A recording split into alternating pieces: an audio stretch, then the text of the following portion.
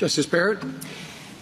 So, Mr. Sauer, you've argued that the impeachment clause suggests or requires impeachment to be a gateway to criminal prosecution, right?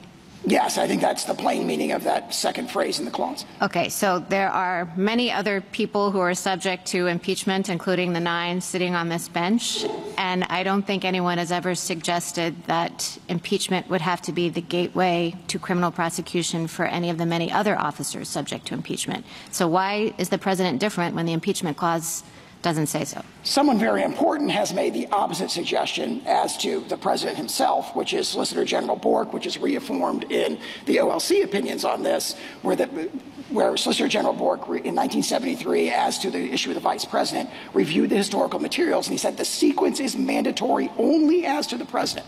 That is DOJ's view of the original understanding of the impeachment judgment clause, which is exactly our position. The sequence is mandatory only as to the president. Keep in mind that the criminal prosecution of a president, president prior to impeachment contradicts, in our view, the plain language of the Constitution, but also hundreds of years of history. And what DOJ admits is the framers' intent. And so we say that that practice, whatever its validity, should not be extended to this novel context where it clashes with the constitutional What if the criminal conduct isn't discovered until after the president is out of office? So there was no opportunity for impeachment. We say the framers assumed the risk that of under enforcement by adopting these very structural checks. As Justice Scalia said in Morrison against Olson, the separation of powers uh, uh, prevents us from righting every wrong, but it does so that we do not lose liberty. Okay, and, and the special counsel makes uh, a point that I think is a pretty compelling one. You admit that if the president were successfully impeached, that he could be criminally prosecuted after impeachment, right? Assuming the prosecution was for the same conduct of which he was convicted, not impeached, he must be convicted. That word conviction is right there in the clause. Okay, uh, granted.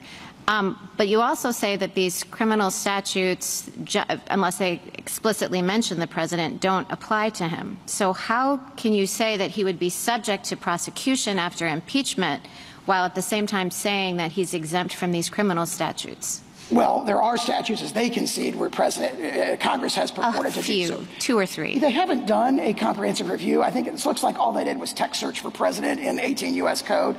Again, under Franklin, that's a very telling indication that the word president is not in the statute, isn't necessarily a, a, a magic word requirement, so to speak.